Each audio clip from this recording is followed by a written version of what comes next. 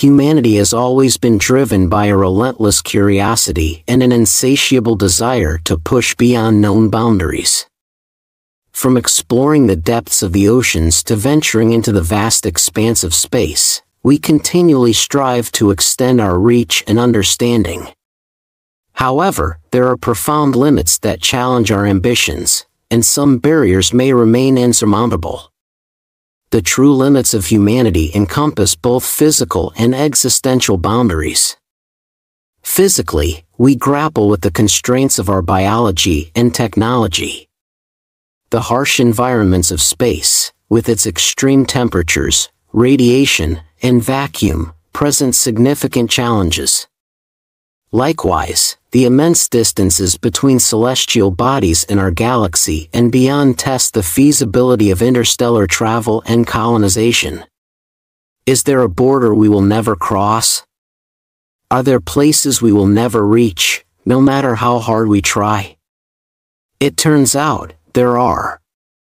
Even with sci-fi technology, we are trapped in a limited pocket of the universe and the finite stuff within it.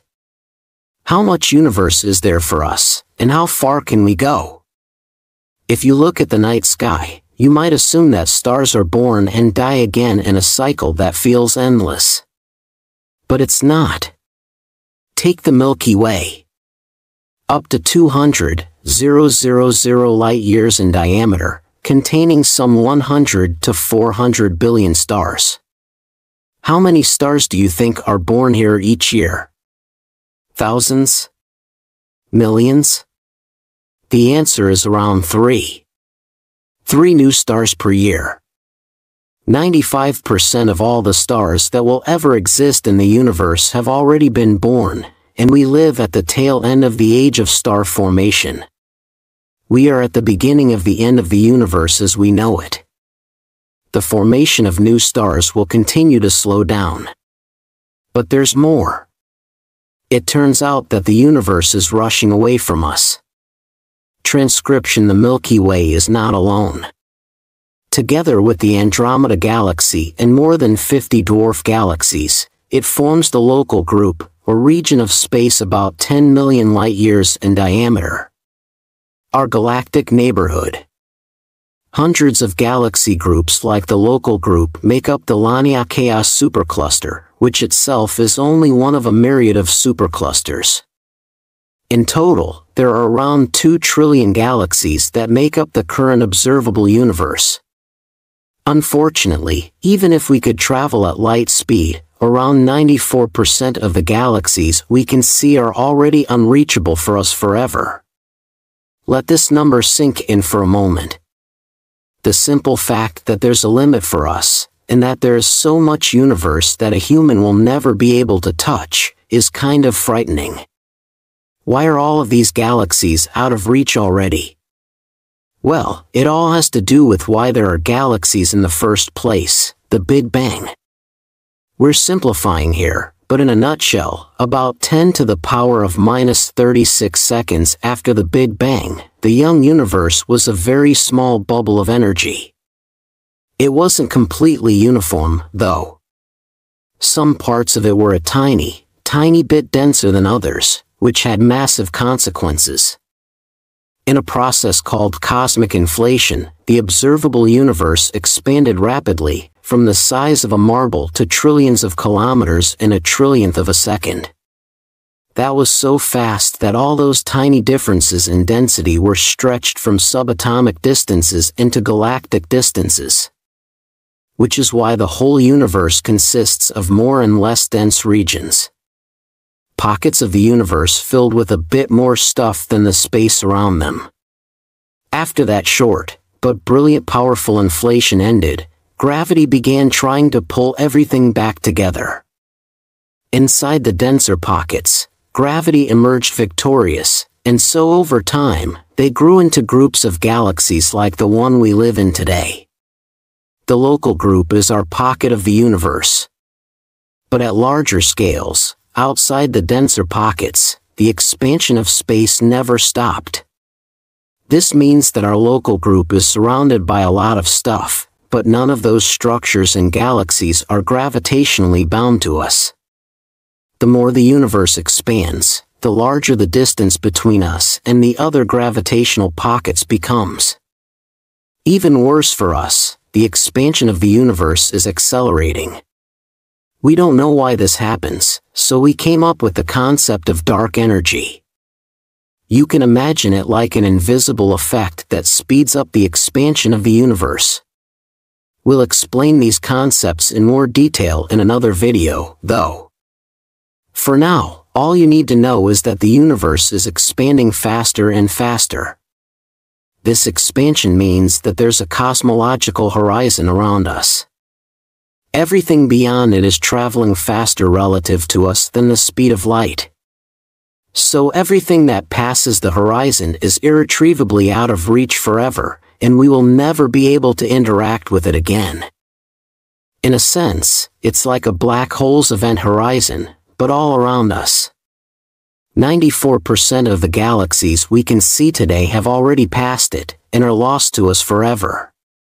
Wait, if we can't interact with them, how come we can still see them? Well, the way we're able to see something is via light. And although the speed of light is the fastest way to travel through the universe, it needs time to get from one place to another. Every second, light reaches us from trillions of galaxies that have passed the horizon because when their light was emitted, they were much closer to us. We are looking at their ancient past and see their ancient positions. So the observable universe is much larger than the universe we can actually interact with. In a sense, the universe is pulling off a great show for us, showing us things that are out of reach forever. We have no idea what these galaxies look like today, and we will never know. But we will be able to observe them for a long time as their light hits our telescopes. Interestingly, this means that currently the observable universe still appears to be growing, as more and more light, released by super distant galaxies billions of years ago, is arriving at our doorsteps. Still, all the pockets of the universe outside the local group will one day pass our cosmological horizon. Once they do, their light won't be able to reach us anymore, and from our perspective, they will fade away into darkness. Every second of your life, 60, 000 stars pass the horizon. Since you started watching this video, around 22 million stars have moved out of our reach forever. Okay, but if 94% of the observable universe is beyond the cosmic horizon and gone forever, that still leaves us with 6% that is technically in reach, which is still a ton of stuff. All the galaxy pockets that 18 billion light years away. They are still moving away, but slow enough that we could physically reach them. Although the chances are shrinking with every second that passes. Everything that's more than around 5 million light years away is moving away from us. But the closest galaxy groups are receding the slowest, so there is a time window to jump galaxy groups. The challenge is extreme though, even for Type 3 civilizations. Even at the speed of light, a trip to the Maffei group, the closest pocket of galaxies outside the local group, would take 11 million years. If some sort of super motivated, super advanced civilization takes this challenge on, its potential sphere of influence could expand to hundreds or thousands of galaxies. Although, as time passes and the universe grows, they would be separated forever. It's pretty safe to assume that humans will not make this journey, at least not with technologies that are even remotely on the horizon. For us, the local group is most likely the largest structure that we will ever be a part of. Just traveling between the stars would be an achievement of epic proportions. We would already be incredibly successful if we were to colonize our cosmic backyard, which accounts for zero. 0.0000000000001% of the observable universe.